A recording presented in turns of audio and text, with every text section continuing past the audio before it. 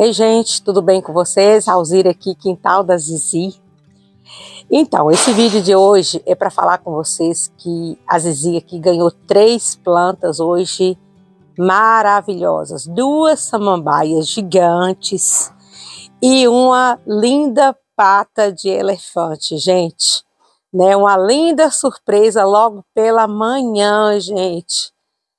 Uma amiga muito querida, Arlene Medina, me ligou falando que estava com essas plantas lá para a Zizi aqui, né? Claro que a Zizi não perdeu tempo e foi lá buscar. Eu só não imaginava, gente, que já estivessem tão crescidas.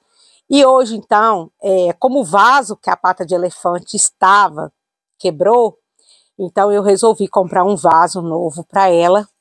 É, eu não vou fazer o vídeo replantando as samambaias gigantes, porque como eu disse, ela também me doou duas samambaias enormes. Como são plantas distintas, né? Uma é, gosta de sol pleno, como a pata de elefante, é uma planta muito rústica, de pouca rega.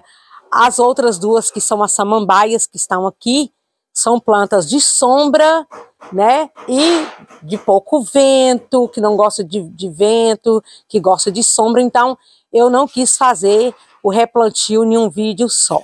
Então hoje nós vamos estar aqui mostrando como que eu vou replantar a minha pata de elefante, com todos os cuidados que eu não tive da primeira vez, porque uma outra amiga, Marisa, ela também havia me presenteado com uma outra pata de elefante e eu matei a pobrezinha, gente. Eu molhei demais. É uma planta, como eu disse, muito rústica, muito fácil de ser cultivada, só que tem que ter alguns cuidados, né, devido assim à rega. É uma planta que não suporta excesso de água. Então, ela é uma planta que tem um caule aqui que é, armazena muita água, então a gente tem que ter esse cuidado. Então tá aqui o meu vaso. Meu vaso aqui é de uns 60 centímetros quase 70, 70 de altura, tá vendo? E eu tenho assim muito cuidado com essa questão da drenagem. Então o que que eu faço? Eu coloco isopor, né, aqui ó, no fundo dele. E o fundo dele também, gente, tem que ser bem furadinho aí, de preferência com furadeira. Se você tiver uma furadeira em casa aí, fure de furadeira porque assim não vai correr o risco de lascar o seu vaso. Então eu já preparei aqui o meu fundo de drenagem. Tem um pouco de carvão aqui no fundo, porque o meu isopor estava pouco. Então eu tinha um pouco de carvão aqui, eu também reaproveitei ele aqui para fazer o meu dreno, né? Como vocês podem estar tá vendo. A terra, eu vou usar uma terra comum que eu tenho aqui no meu quintal. É uma terra preta, que está um pouco misturada com um pouco de carvão e um pouco de brita, uma brita mais fininha. Então, é essa terra que eu vou estar tá usando aqui, para poder estar tá replantando a minha pata de elefante. Deixa eu virar a terra aqui, tá um pouquinho pesado, né, gente? Então, vamos virar essa terra aqui. Opa! Olha aqui.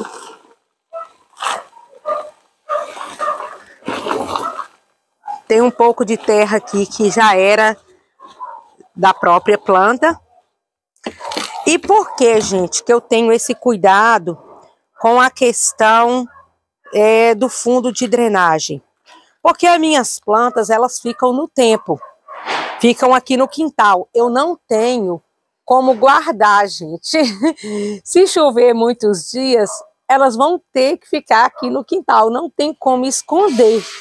E essa planta ela já está bem crescida e pesada. Até para transportar ela de um lugar para o outro fica um pouco difícil.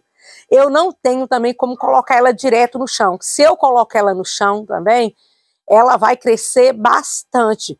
Mas aqui no meu quintal, é, eu não tenho como colocá-la no chão, porque volta e meia a gente está reformando o quintal, fazendo alguma mudança, então não pude ainda, não vou poder colocar ela em um lugar permanente no chão.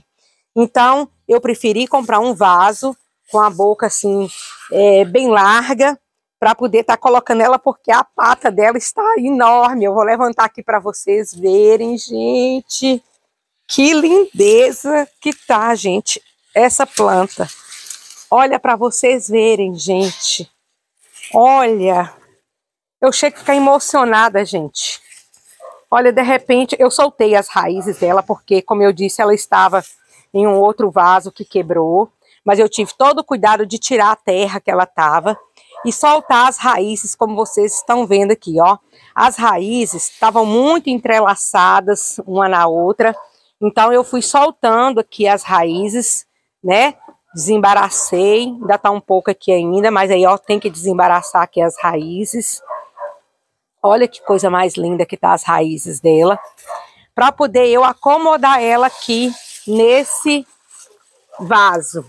Eu digo que é uma nova casa para ela, gente. E quando eu recebi essa planta, é, as plantas falam muito comigo, gente. Eu, eu sinto muito Deus através das plantas. E a sensação que eu tive ao pegar nessa planta, ao receber, que dá a impressão que ela é uma planta que abriga, sabe? Eu até comentei com a minha filha, que a moça que filma, tá, gente? ela fica nos bastidores e que ela não gosta de aparecer. Então eu falei com ela que a sensação que dá é que essa planta, ela ela acolhe. Então tem lugar debaixo dela para abrigar. Olha que coisa mais linda, sabe? Se eu pudesse passar essa sensação que eu estou sentindo aqui para vocês, eu, eu passaria, porque realmente é uma sensação muito especial, sabe? É, é um sentimento, na verdade, em relação a essa linda planta. Eu vou abrir um buraquinho aqui, gente. Vou devolver ela aqui para o vaso, com cuidadinho, né, para não quebrar as folhas dela. Vou abrir um buraquinho aqui no centro para ficar melhor para eu acomodar as raízes dela aqui. Então, todo um cuidado por receber essa preciosidade com o coração muito grato, gente, porque é uma sensação muito boa, sabe? É, é um sentimento às vezes inexplicável, às vezes as pessoas não, não compreendem o sentimento em relação às plantas. É como as pessoas que gostam dos bichinhos, aqui em casa tem bichinho e a gente tem um sentimento assim, sabe, assim, diferente com eles. Às vezes as pessoas que não gostam muito não compreendem, ou que não curtem muito os bichos, às vezes não compreendem o carinho que a gente tem com eles. Assim sou eu com as plantas. Às vezes as pessoas não compreendem né, o que eu sinto em relação a elas. Então, abri aqui um buraquinho, como vocês podem ver, olha aqui, tá vendo? E aqui eu vou acomodar as raízes da minha linda planta. Olha aqui. Vamos puxar as raízes para cá. Tá vendo? É uma planta, gente, que a gente tem que ter cuidado na hora de regar. Regar apenas de 15 em 15 dias, no máximo. Não pode molhar frequentemente. Eu estou plantando ela aqui na sombra, mas ela vai ser levada por sol, porque lá onde ela estava, ela pegava pouco sol. Então eu quero ir adaptando ela é, devagar é, no sol. Ela vai caminhando aqui de pouco a pouco para o sol, para ir se adaptando devagarzinho. Como eu disse, a amiga que me deu, ela estava sem espaço, então ela estava num lugar bem sombreado, quando na verdade ela é uma planta de sol pleno. Então, é, eu vou aqui, ó, pegar mais um pouco de terra e vou tampar aqui um pouco mais as raízes, deixando, gente, esse caldex dela aqui, né, essa batata enorme aqui, que realmente parece uma pata, bem exposta, porque aqui é que tá a beleza dela, né, gente? Olha aqui. Fala a verdade aí, conta aí nos comentários se vocês também ficariam felizes de ganhar uma planta linda dessa aí. Enfim, né? Era meu sonho, um sonho que eu fiquei quietinha, calada, eu não falei, mas é, Deus, gente, ele realiza sonhos, sabe? Ele interpreta os nossos pensamentos. Às vezes coisas que você não fala para ninguém, né? De repente Deus vai lá e usa alguém para poder realizar é, esse seu sonho. Eu vou virar um pouquinho aqui, eu pôr um pouquinho mais de terra aqui nas outras raízes. Essas raizinhas que estão sobrando aqui, gente, ó, eu vou cortar e vou passar um pouquinho de canela, viu?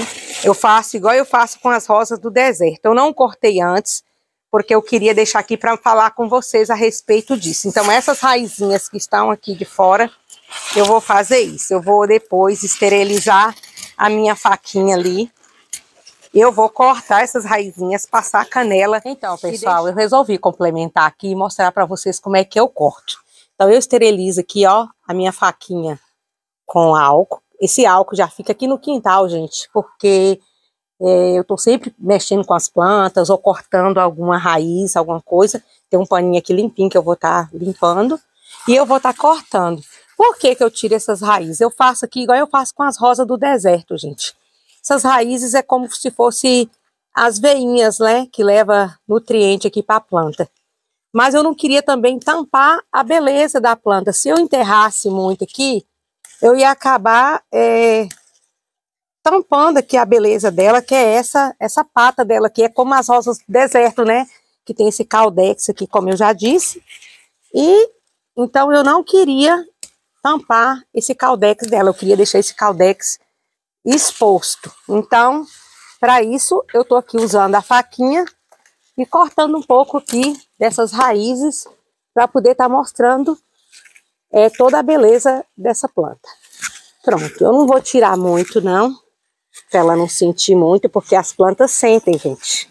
Né? Elas sentem, elas são seres vivos e elas sentem, então é, então, depois de cortar aqui as raízes, é, tem um item aqui que não pode faltar, gente. É um fungicida natural, que é a canela em pó. Então, eu vou estar tá pegando e passando aqui nos lugares aqui, ó, é, onde eu é, cortei, né, na verdade, onde eu tirei essas, essas raízes. Como eu disse, eu não é, tapei todas as raízes para não tapar a beleza é, da planta.